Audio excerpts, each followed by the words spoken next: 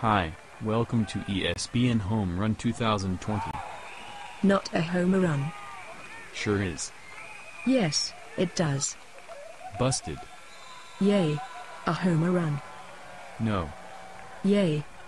No. Yay. I won.